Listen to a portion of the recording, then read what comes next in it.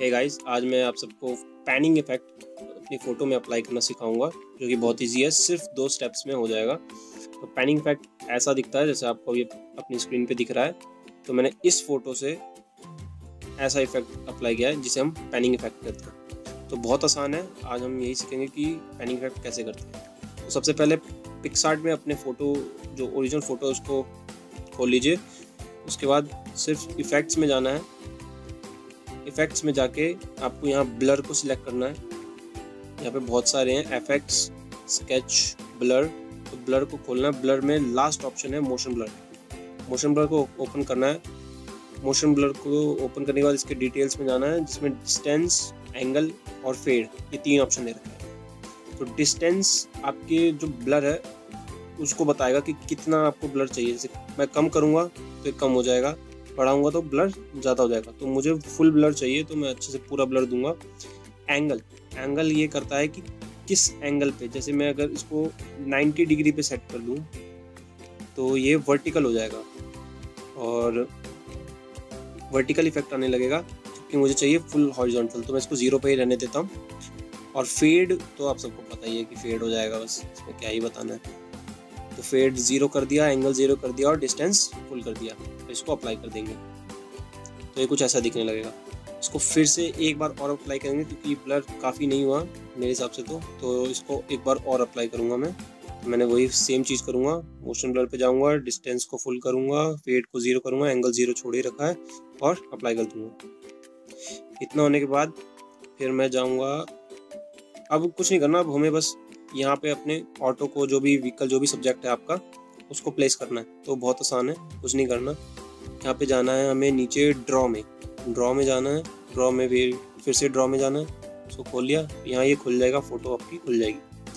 फिर कुछ नहीं करना, हमारे टॉप राइट कॉर्नर पे लेयर्स का पैनल है तो इसको खोल लेंगे।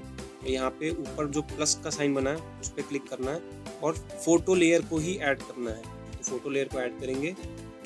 इसमें फिर अपनी जो फ़ोटो है ओरिजिनल फ़ोटो उसको अपलोड कर देना है। फ़ोटो लेयर को अपलोड कर देना है। क्रॉप के लिए पूछ रहा है, मैं क्रॉप नहीं करूँगा, आप लोग अपना देख लेना कैसे करना उसके बाद कुछ नहीं करना, उसके बाद यहाँ पे इरेजर टूल को सिलेक्ट करना है। इरेजर टूल में अब आप ब्रश कोई सा भी यूज़ कर सकते हो और मैं तो कोई सा भी क्यों ही कर सकते हो। ब्रश आपको ये वाला सिलेक्ट करना है, जो सबसे पहला है। साइज़ फ़िलहाल मैं फुल कर रहा हूँ, क्योंकि मैं अभी पहले रफली ऊपर से जो साइड्स का पोर्शन है, उनको इरेज करूँगा। कैपेसिटी भी मैं पूरी हंड्रेड रख रहा हूँ हार्डनेस भी मैं फुल रखूँगा और सेट कर दूँगा।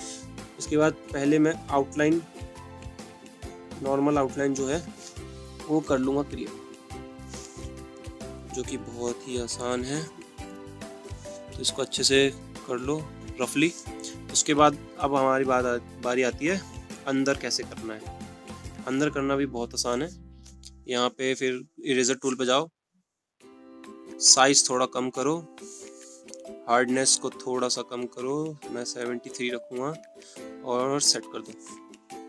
और उसके बाद उसको जितना जूम कर सकते हो जूम करो और एजिस पे करना शुरू करो। ऐसे ही पूरे इमेज की एजिस पे आपको करना है।